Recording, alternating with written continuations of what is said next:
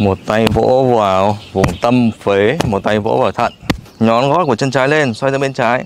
Một hai ba thở miệng.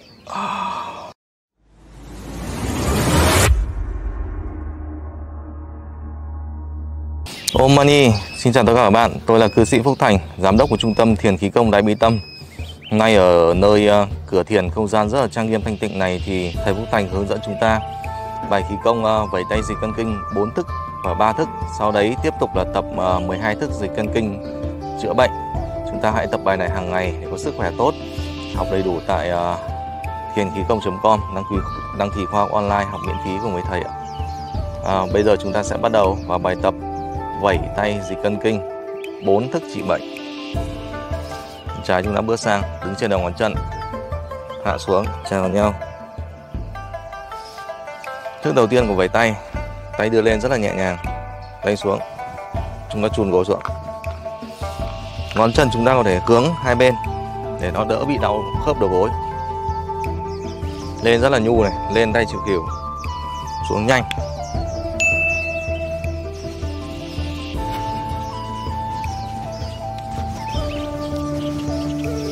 Hơi thở hoàn toàn tự nhiên, thở tự nhiên, lưỡi chạm vào miệng trên.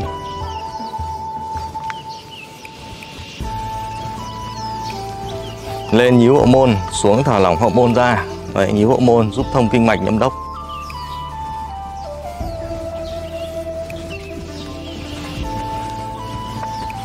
Khuôn mặt tươi vui mỉm cười lưỡi chạm vào miệng trên. Ta có thể tập 50 lần hoặc 30 lần đều tốt. Lên nhu xuống nhanh.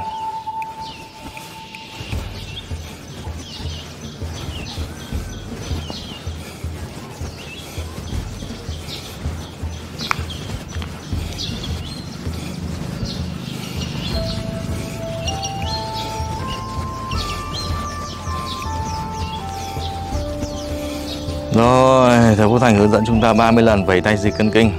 Thức thứ nhất, bây giờ chúng ta thiền đứng thở tự nhiên.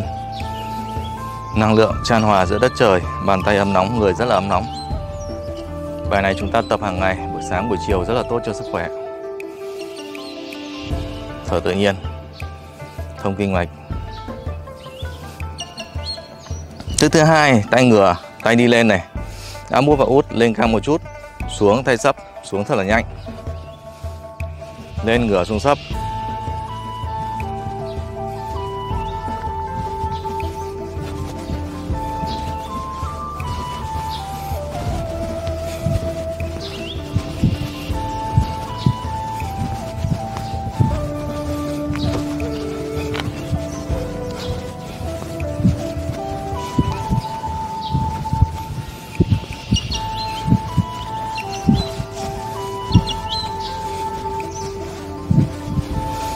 Mặt tươi vui.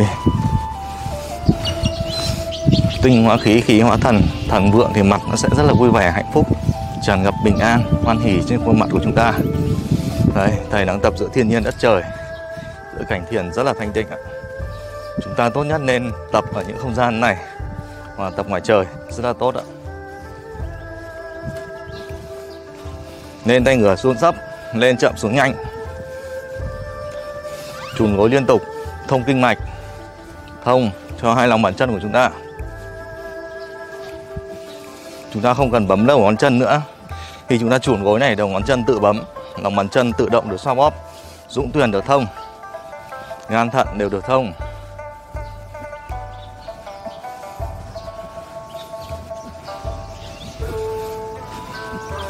Rồi, chúng ta thiền đứng trước khi bắt đầu vào chiêu số 3 Tôi cảm thấy người nó ấm nóng vô cùng.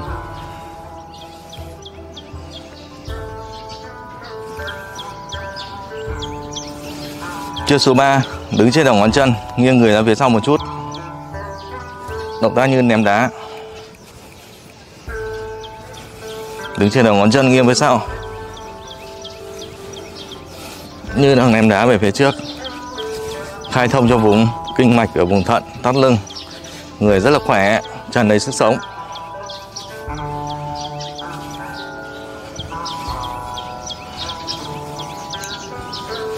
Chúng ta đã làm 30 lần.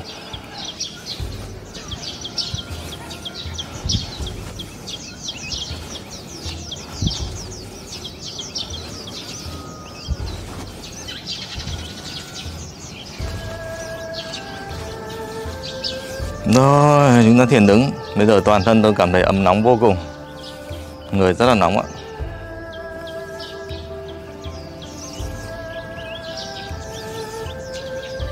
Thức thứ tư. Ta sẽ cúi xuống một chút. Tay của chúng ta sẽ phóng xuống. Đấy, thức này thông 10 đầu ngón tay. Thông kinh mạch. Da rẻ hồng hào và mát lên.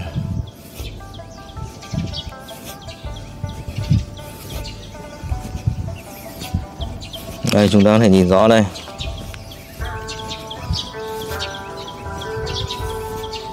Tay, chúng ta cứ lên. Rồi. Phóng tay xuống, như động tác cấy lúa. Tác dụng rất là cao.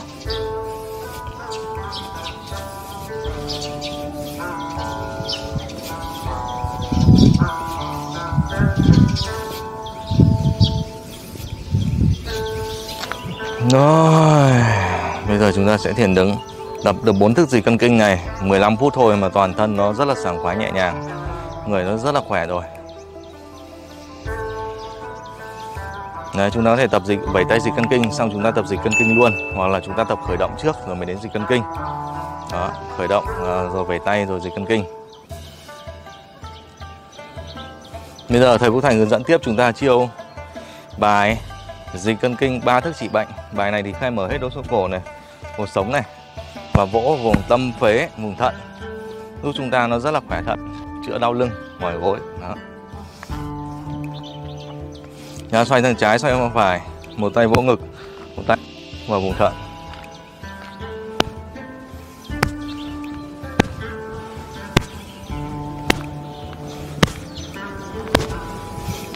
Chúng ta xoay cổ về sau 45 độ nhìn về phía sau.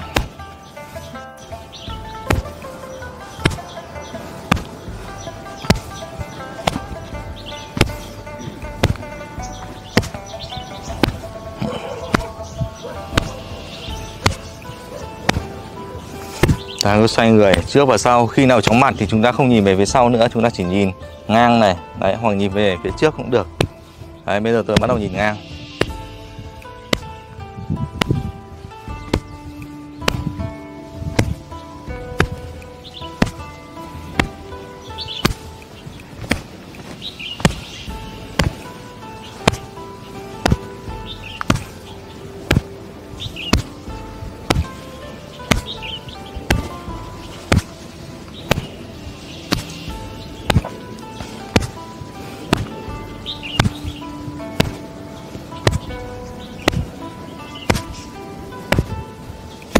Một tay vỗ vào vùng tâm phế một tay vỗ vào thận chữa tất cả bệnh tim này bệnh phổi này bệnh thận yếu đau lưng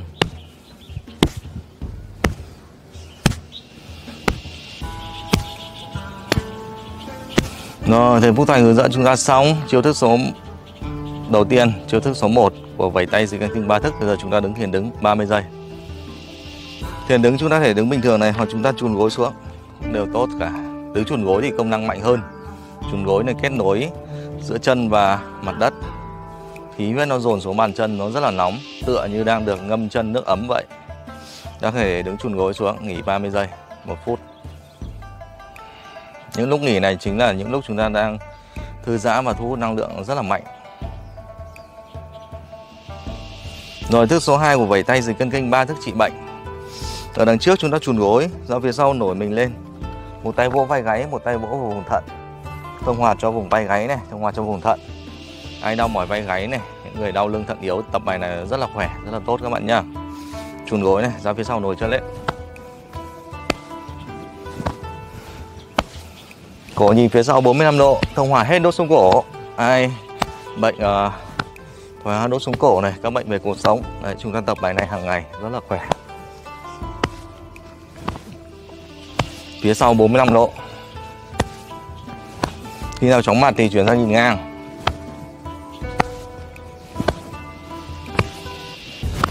Tôi đang tập giữa khung cảnh thiên nhiên đất trời nó rất là hùng vĩ. Đằng trước thì là những dãy núi lớn đằng sau thì là ngôi chùa thiền viện. Đấy, chúng ta có thể tập ở những nơi như thế này. Thì công năng năng lượng đất trời nó cao nhất. Tác dụng chữa bệnh nó là cao nhất. Hoặc không thì cũng nên tập ngoài trời ngoài ban công trong nhà cũng được, nhưng tác dụng nó sẽ ít hơn một chút. Hơi thở hoàn toàn tự nhiên.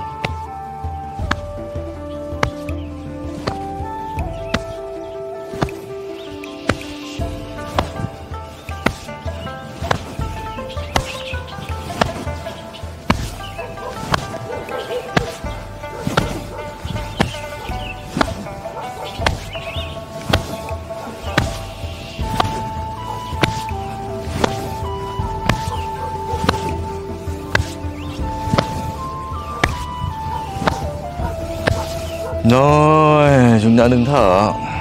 Dòng chiều số 2 của vẩy tay dịch căn kinh ba thức trị bệnh.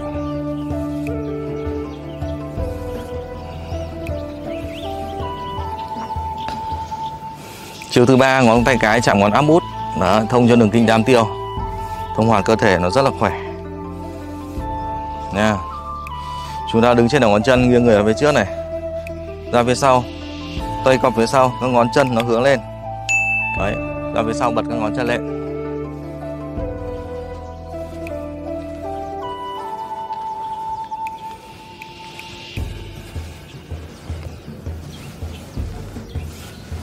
Đứng trên các đầu ngón chân nghiêng người, ra phía sau bật ngón chân lên.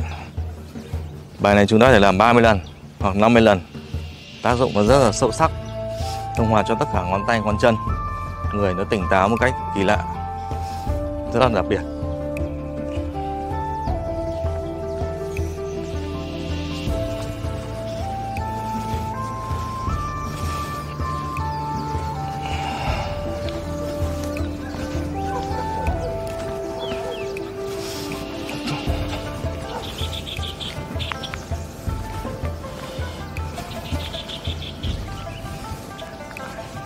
Nhớ tay lên là phải ngang với tầm vai, đừng để cao này. Ngang tầm vai và chúng ta bật cái tay này lên. Đấy, thông hòa cho vùng kinh mạch ở đây.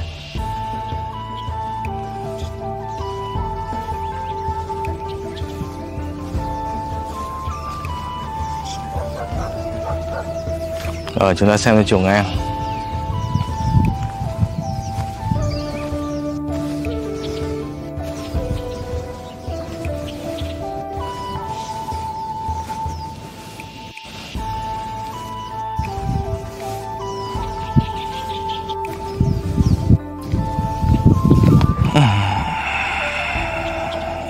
Rồi, xong ba thức vẩy tay dư căn kinh chúng ta thiền đứng thở bình thường.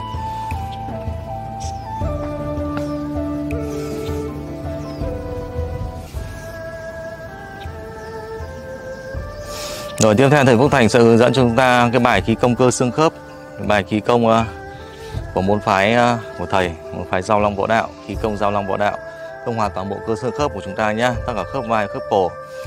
Xong bài đấy chúng ta đến bài ờ, 12 thức dịch cân kinh. Đó đầu tiên chúng ta để tay này. Đó. bàn tay nó sẽ hướng lên trên. Tay hướng lên trên này. Đó. xoay cổ 10 lần.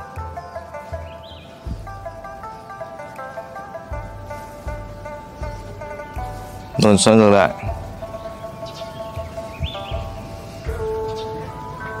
Cũng 10 lần. Đó. Rồi, chúng ta sẽ thông hoạt cho vai gáy tay này từ phía sau ra đằng trước. Hít mũi. Thở miệng đó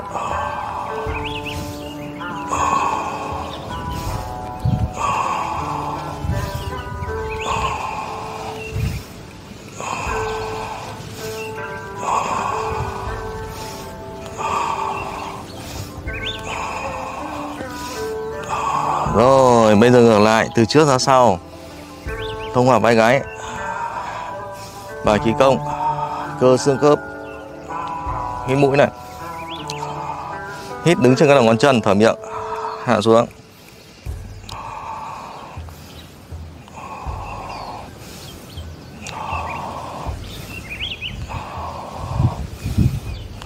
Rồi, chúng ta thiền đứng thả lỏng cơ thể, thở tự nhiên.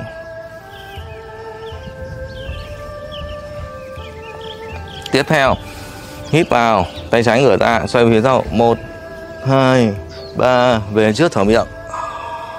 Hít tay phải ngửa ra. Một. Hai. Ba. Về trước thở miệng. Bài này thông hoàng cuộc sống. Hai. Ba. Thở. Hít. Ba. Thở. Một. Hai. Ba. Thở. Ít một. Hai. Ba. Thở. Hít vào ép phần eo lườn. Nhón gót của chân trái lên xoay ra bên trái. Một hai ba thở miệng. Hít, bên phải. Một hai ba thở. Hít, một hai ba thở. Hít, một hai ba thở. Hít, một hai ba thở ít. Một, hai, ba. Thở miệng.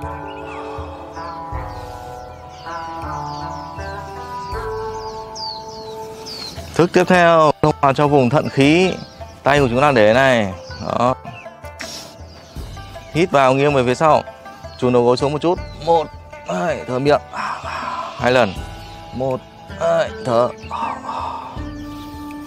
Một, hai, thở một, hai, thở. Hít. Một, hai, thở miệng. Thở miệng hai lần.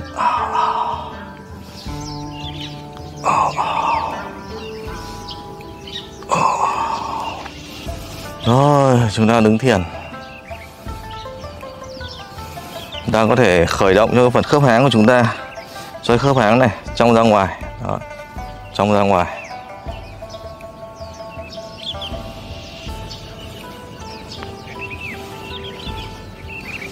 Rồi 10 lần, sau đấy chân bên cạnh, chân còn lại cũng như vậy. 10 lần.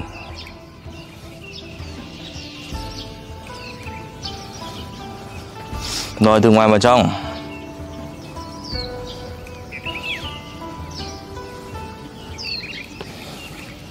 Rồi, ngược lại.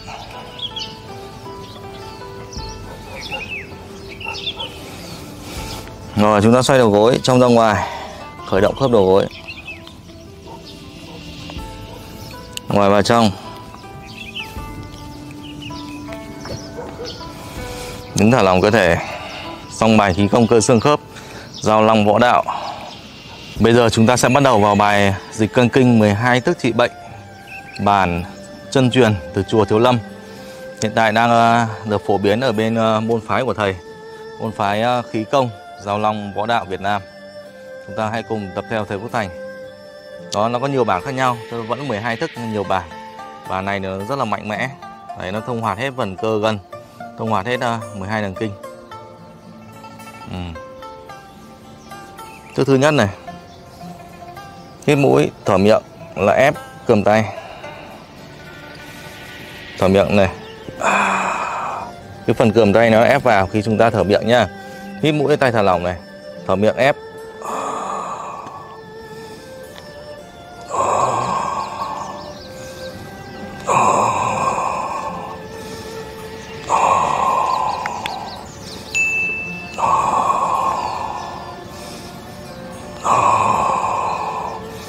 Hít mũi, thở miệng.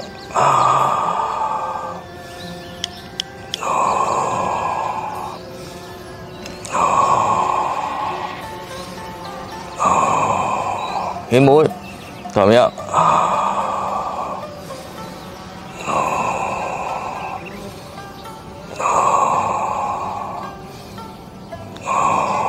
Rồi, chúng ta sẽ làm 10 lần như vậy. Sau đây chúng ta thiền đứng thả lỏng cơ thể trường này rất là tốt cho hệ thống uh, phổi này hệ thống phế hệ thống uh, xoang mũi họng của chúng ta nhé chiêu số 2 chiêu số 2 hít vào bằng mũi này thở ra bằng thở ra bằng miệng duỗi tay ra duỗi chân ra đứng trên các đầu ngón chân. Rất là đơn giản ạ hít mũi này thở miệng. Ít. Thở.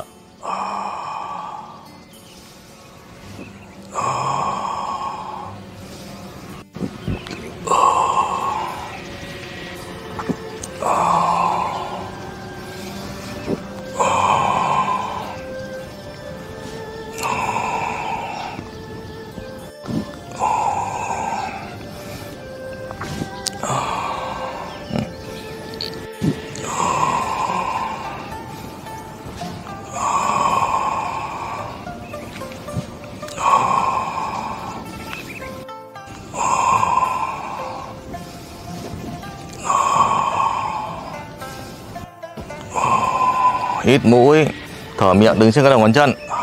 Một, hai, ba, bốn, năm, về, hít. Thở.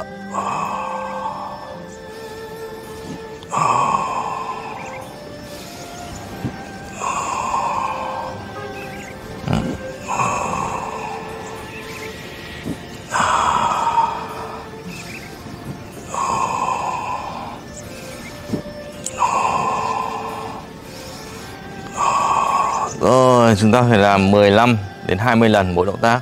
Sau đấy thiền đứng, thở tự nhiên, thả lỏng cơ thể hoàn toàn.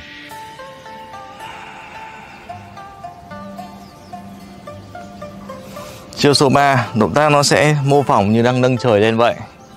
Hít mũi thì mắt nhìn mặt sàn, thở miệng, đứng trên các đầu ngón chân. Tay như nâng trời, thở. Hít Thở.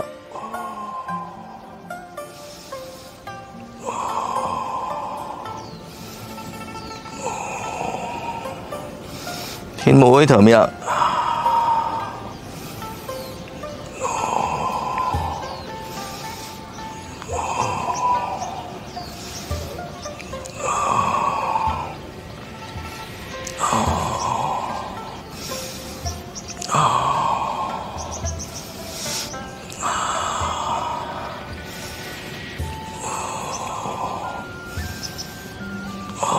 Hít mũi, thở miệng. Người rất là khỏe. Khí huyết rất là thông suốt.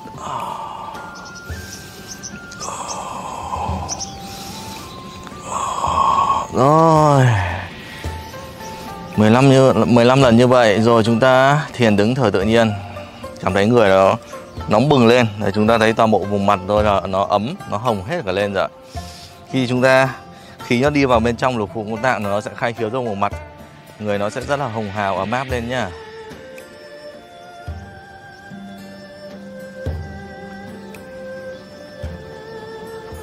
Rồi chúng ta sẽ ờ, thiền đứng. Đứng chuồn gối một chút. Đó.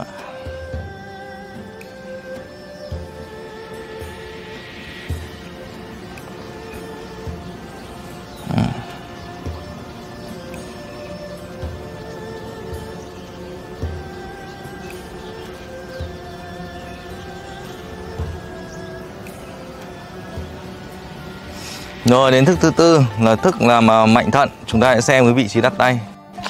Đây, đặt tay ở đây.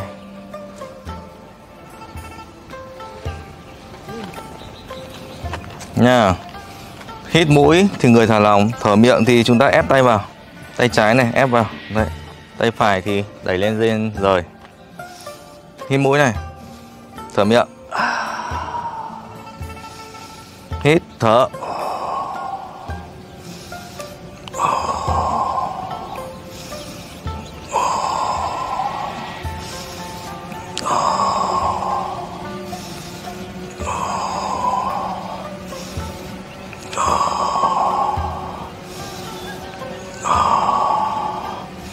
Hít mũi thở miệng. Mỗi lần tay đẩy lên Thì cái tay đằng sau chúng ta phải ép vào nhá. Hít mũi thở miệng.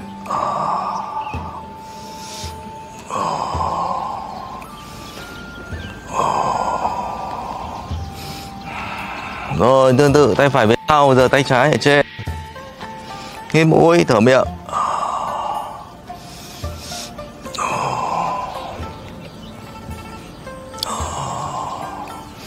Mỗi lần tay trái đẩy lên thì tay phải ép vào vùng thận.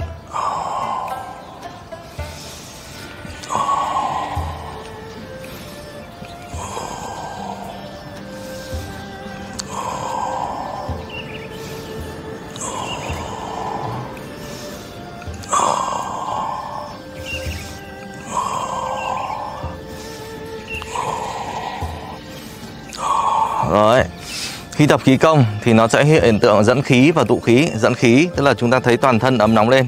Nhưng bây giờ thầy tập đây thì tất cả tay chân nó rất là ấm. Tụ khí thì đầu tiên nó sẽ tụ ở đan điền. Đấy thì thấy bụng nó sẽ cứng ngắc này, nó phình ra.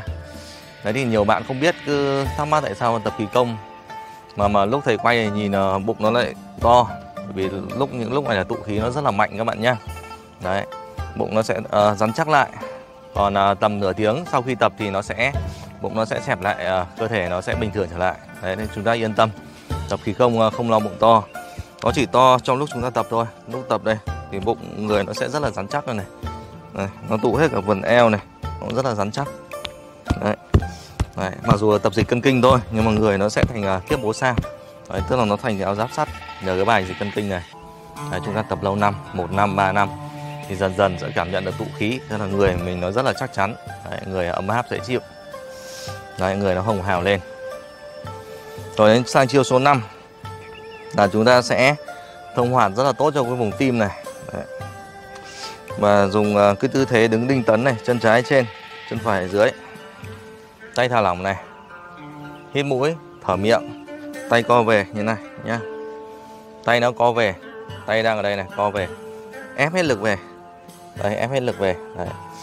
chúng ta sẽ tập uh, như này chúng ta sẽ thấy tay thầy rung lên hít mũi thở miệng. Đấy nhìn tay Dung ạ. Hít mũi thở miệng.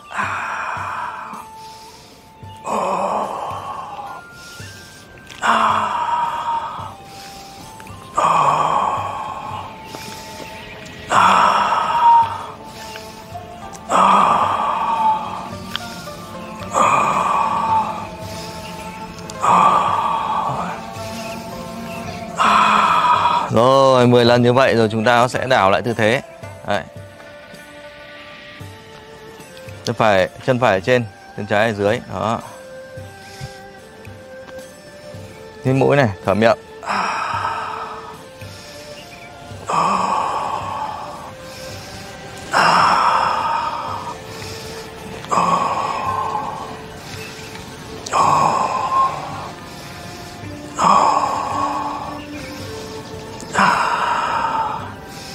Chúng ta nhìn tay này nó rung này.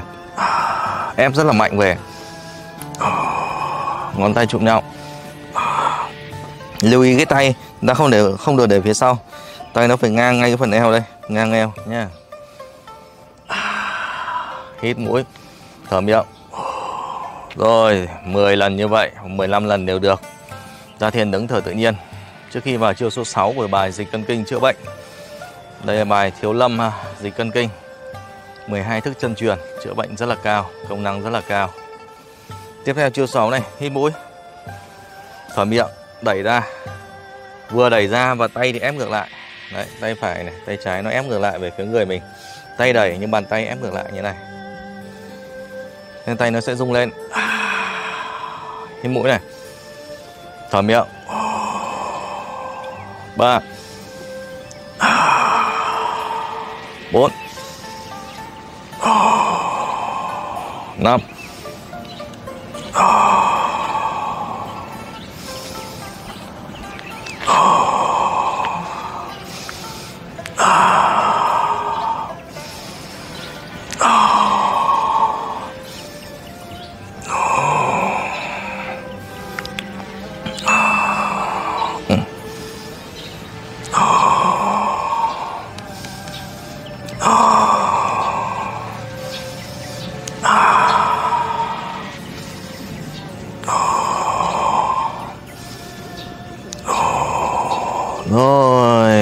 Rồi, 15 lần rồi, bây giờ chúng ta thiền đứng thở tự nhiên.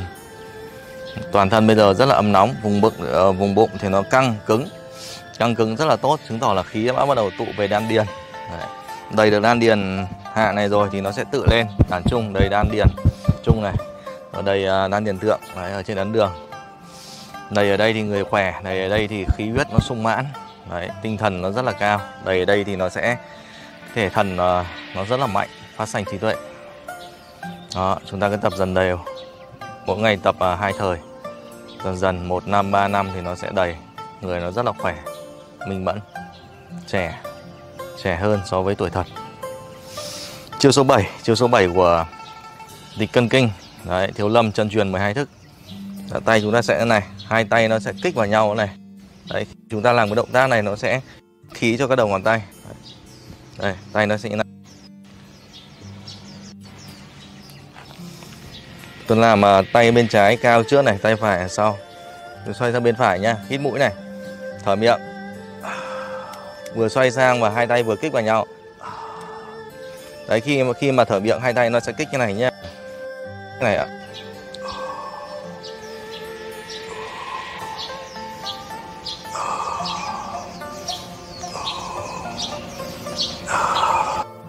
Ờ. ờ. Hít mũi này thở miệng.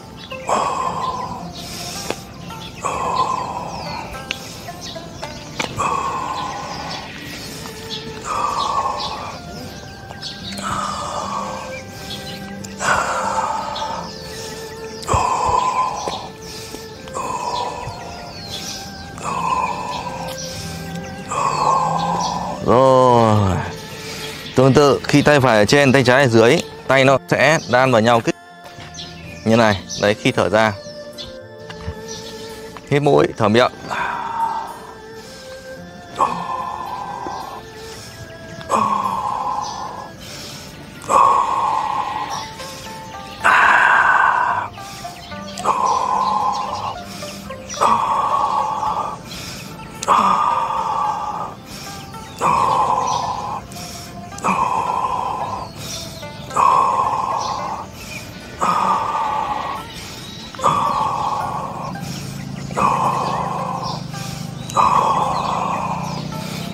Xong chiều số 7 Chiều này nó thông hoạt rất là tốt cho các đầu ngón tay nhé Khớp vai này, đau mỏi vai gáy này Khớp cổ này Thông hoạt hết vùng cổ. Đã đứng thở tự nhiên. Đến chiều số 8 thông hoạt cho cái vùng thận. Đấy, chữa bệnh thận yếu này, đau lưng mỏi gối. Và rèn những cái trung bình tấn cho chúng ta. Ta đứng chân rộng một vai rưỡi. Các đầu ngón chân nó sẽ hướng hai bên này. Đấy. ta chuẩn bị hạ tuần xuống nhá. Hít mũi là hít từ dưới đan điền dưới rốn, cho đến đàn trung nhá. Hít này. Thở miệng. Thở miệng hạ tuần xuống.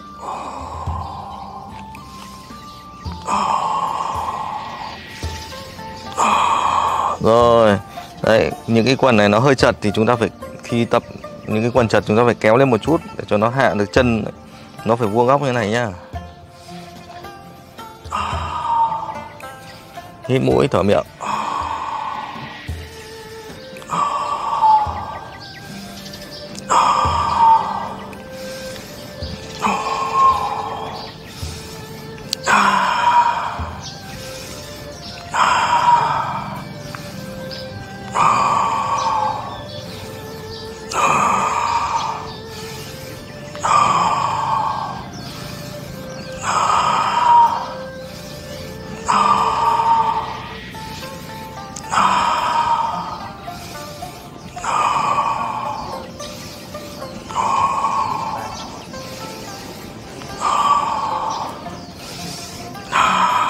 Chúng ta thì tập 20 lần. Chiều này nó rất là khỏe.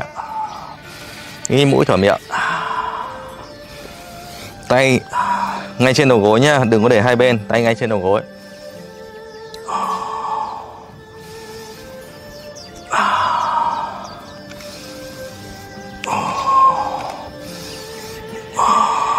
Rồi 20 lần rồi, chúng ta bây giờ thiền đứng, Thở tự nhiên. Nếu thấy hơi mỏi chân quá, Chúng ta để duỗi chân ra này. Chúng ta duỗi chân. Chúng ta duỗi chân, Thông kinh mạch, Vùng chân Và giúp chúng ta không bị mỏi.